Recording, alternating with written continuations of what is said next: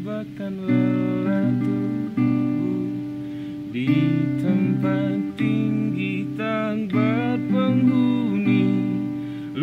Lupakan sejenak masalah duniamu